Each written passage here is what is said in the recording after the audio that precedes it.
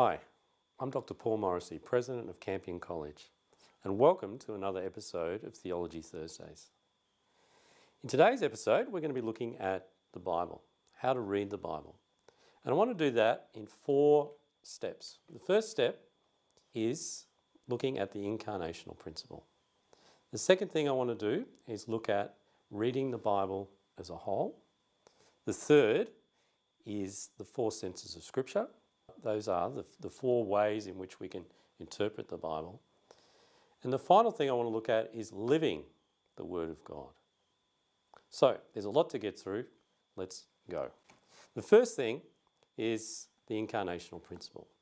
What does this mean? Well, the incarnation is usually associated, as you're probably aware, with the fact that the second person of the Trinity, the Son of God, became incarnate for us, infleshed. Incarnate, infleshed for us. So the Word became flesh, as John's Gospel tells us. So the second person of the Trinity, God, became one of us, human. We can look at the same way with the Bible that the Word of God, which is divine, God's Word is divine, becomes incarnate in actual words on the page. They become human words, human concepts. So, what we mean by the incarnational principle then is that there is a divine and human element to the Bible, to Scripture. And this is crucial. It helps us to avoid two pitfalls with the Bible. The first pitfall is to purely see the Bible as divine, which means that we can think that the Bible sort of just fell out of the sky and landed in our laps, the literal Word of God. And this can result in certain sort of fundamentalist readings of the Bible, taking the Bible too literally. And that is a problem because there's lots of seeming contradictions within the Word of God. So that's one pitfall we want to avoid. The other pitfall is the opposite, namely to avoid any divine aspect to the Word of God and purely see the Bible as some nice human words that we can take seriously or not. And that tends to be a more modernistic interpretation of the Bible. Fundamentalism versus modernism. The incarnational principle helps us avoid those two pitfalls.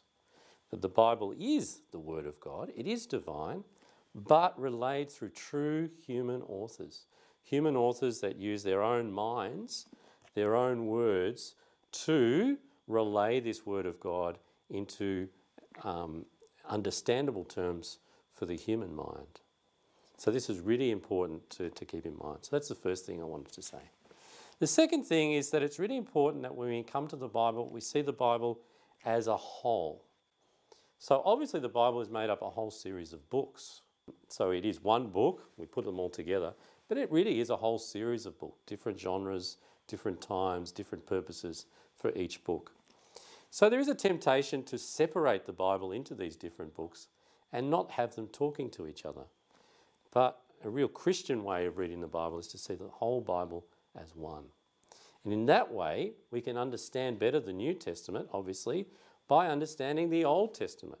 That Christ Himself does not just appear on the page in the New Testament without any background or context. The Old Testament is the context for understanding who Jesus is in the New Testament. Reading the Bible as a whole is crucial to understanding the real meaning of the revelation held within this Word of God, the Bible. So that's the second thing. So we have the incarnational principle, namely that the, Bible is divine and human, and that we need to read the Bible as a whole, not to separate into different books. Now I want to look at the Bible in terms of how we, in a sense, read it and understand it, both as a church, so in a living community, but also as individuals when we come to read the Bible ourselves. So, from ancient times, really with the fathers of the church and also through the medieval period, there was developed a way of reading the Bible which we call the four senses of Scripture.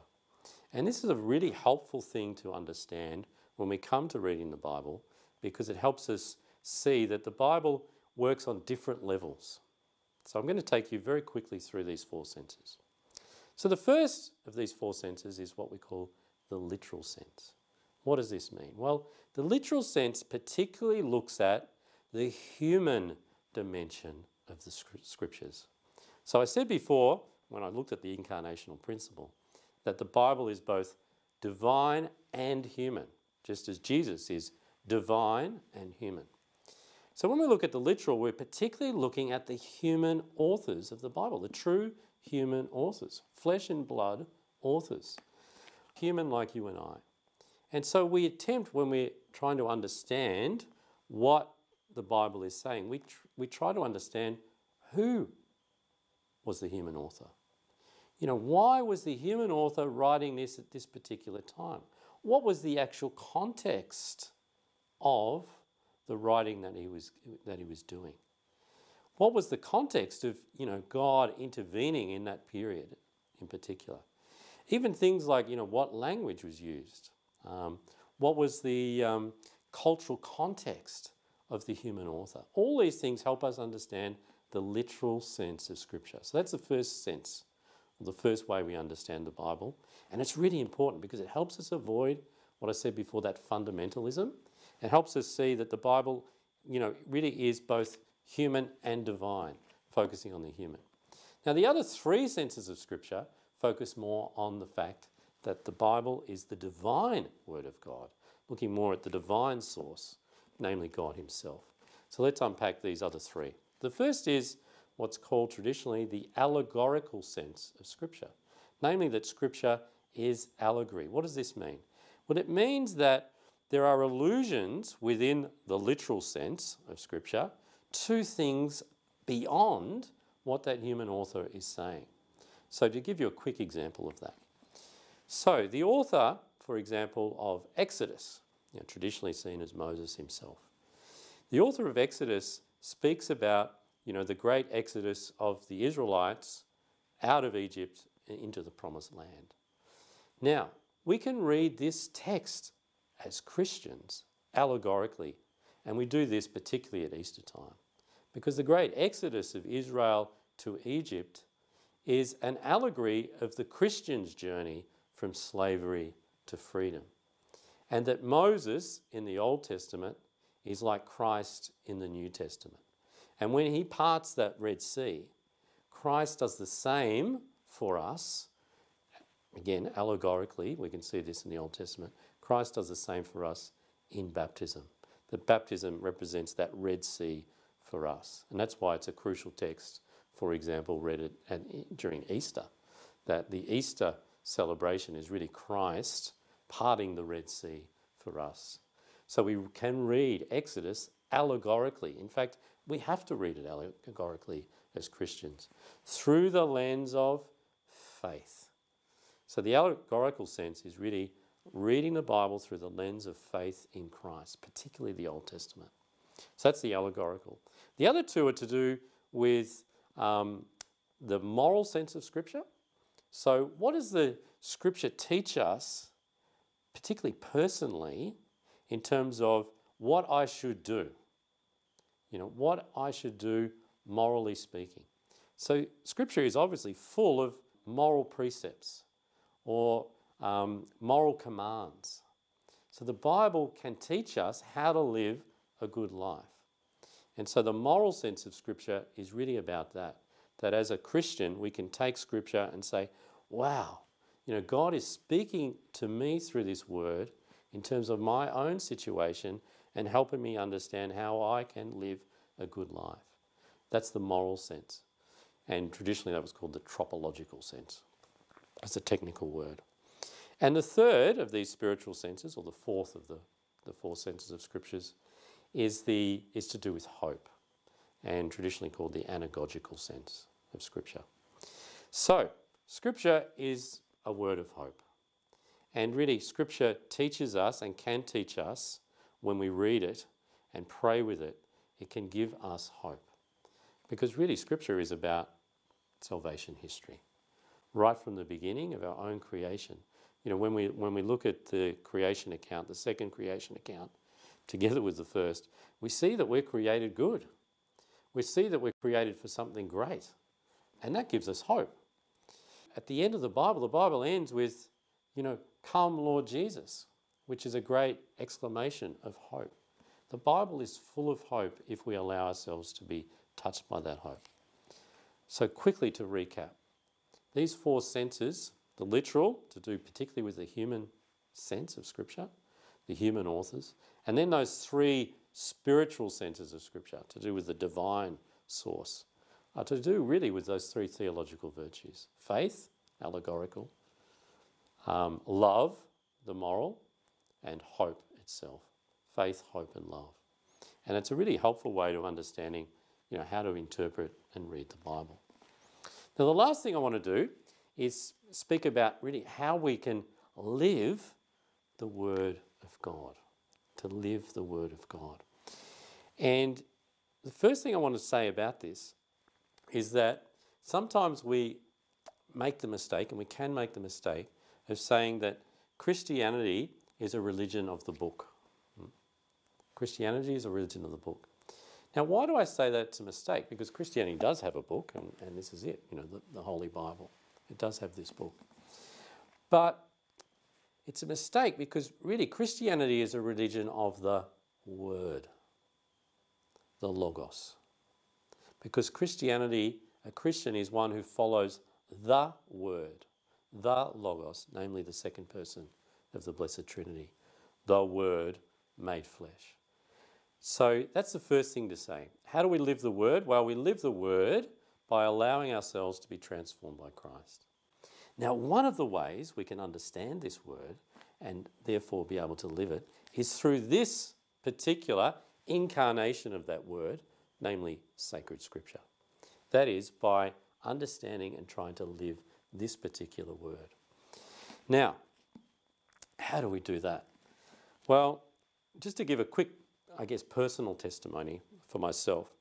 I used to think that the Bible was something, you know, that was just simply for the liturgy and didn't really touch directly my sort of daily life. But over time, I began to see, well, that's, that's a false understanding. You know, sacred scripture, the Word of God, is something alive and active. And, you know, as it says in sacred scripture, is a sword. Hmm? it can really pierce our hearts. It can really, really cut to the very marrow of our bones if we allow it. Because God, from all eternity, wants to speak to the here and now in my life through this word. And, and do I believe it? You know, St. Augustine himself had this encounter when he was you know, going through his period of conversion. He heard a voice saying, Tolle lege, take up and read. And he opened the scriptures. He just opened them up. Take it up. Okay, take it up and read. And he opened to Romans. And here was a text given specifically for him at this moment in his life, which helped his conversion. Now, why don't we do that ourselves? Why don't we allow that word to touch us? So we may be at the liturgy, the sacred liturgy. Are we really expecting the Lord to pierce our heart with His word. Or we may have a big decision that we, we need to make, or we, we're going through a little difficulty. Why don't we just take that Bible and you know, take it up and read, just like Augustine did? Because the Lord wants to speak to us through His word if we let Him. So we need to be able to live it. And one last point on, on living the word of God. You know, the Lord speaks, and He speaks to us all the time through various ways. And one of the ways is certainly through sacred scripture. But, you know, a dialogue is, is two way. So we need to not only, in a sense, hear that word, but we need to receive it. What does that mean? Well, it means, and the, and the fathers of the church teach us about this as well, it means that we allow this word to enter our life by, by chewing on it, hmm? by chewing on it, by mulling over it. And so you, you need to, to mull over, to read over, to knead the word, and then ultimately by kneading it and, and really bring it together to create the bread, you, you put it in the oven and it bears that, you know, that smell and the richness of the, of the loaf of bread in your life. And it, it's a bit of that. The Lord may give us a word, may give us a word, and what we need to do, we don't just sort of forget about it the next day, but we should write it down. You know, write it down. Make it flesh, if you like, in our life by writing it down. And then taking it to prayer and really asking the Lord, well, what do you mean by this, Lord? You know, how do you want me to live it? And the Lord will help us. He'll help us to really live it by making a little decision or trying to make it again incarnate in our life. The Word becomes flesh in our life if we allow Him to do it. So, just to quickly recap the incarnational principle, the divine and the human, helping us to avoid fundamentalism and, and modernism. The fact that we need to read the Bible as a whole, Old and New Testament, all the books together, interpreting each other. The four senses of Scripture to really help us understand the sacred Scriptures. And finally, really trying to live the Word, allow the Lord to really become incarnate with our own very lives. So I hope you enjoyed this very brief introduction to reading the Bible. Um, just a couple of things before we sign off. First is if you've got any questions or comments, please uh, put them in the, in the section below. Any feedback, whatever it is, please put them in the comment section, and we'll endeavour to, to, to answer some of those questions. Here at Campion College, we study theology, and as well as that, we give context to theology through all the different core units that we study. If you want to find out more about our programs here at Campion, particularly our liberal arts degree, please visit our website. Until next time, thanks for joining us.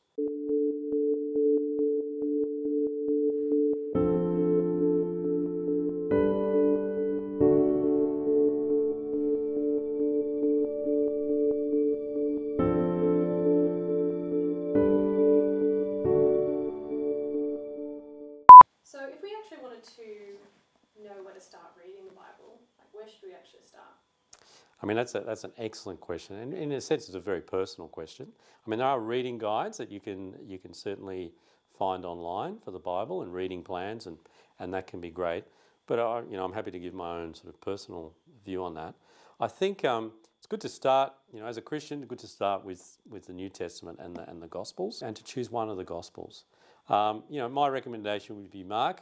Mark's, you know, you know, they're all wonderful Gospels, but Mark's Gospel is is to the point. Um, but also, you know, one thing I love about Mark, he has these little flourishes too. He likes to describe things that the other evangelists perhaps don't describe. So it, it sort of brings, you know, Mark really brings the, the New Testament alive. And um, so I really recommend that. But, you know, one of the Gospels. And then interchange sort of New Testament with the Old Testament. So once you've read uh, one of the Gospels to, to go to the Old Testament, and, and probably either Genesis or Exodus, maybe start with Genesis it's a big book, but uh, you know, really, there you've got salvation history being being uh, laid out for us. Um, so to alternate, you know, you've read the Gospel of Mark, and then you think, wow, you know, Genesis, how does it relate to the New Testament? And and that can be really helpful, particularly you know, in terms of reading the Bible as a whole, Old and New Testaments together. Um, and then, you know, shift around genres as well. So maybe the next book of the New Testament, you might uh, read one of Paul's letters, maybe Romans to start with, the most really theological book of the New Testament. And then go back to the to the old, maybe go back to Exodus if you've read Genesis first or one of the Old Testament prophets. Um, alternating Old New Testament. And then, you know, the wisdom literature too could be you know, the Psalms. Maybe maybe in your prayer time you can just start reading the Psalms anyway, um, either through the liturgy of the hours or or so on. You know, it's so so so rich. But I suppose the simplest way, really, of, of reading the Bible is, is follow the, the, the, church's church's calendar. Um, also, the office of readings in the in the um, in the liturgy of the hours is a, is a helpful way as well. There's, there's lots of ways, but that's that would be my recommendation.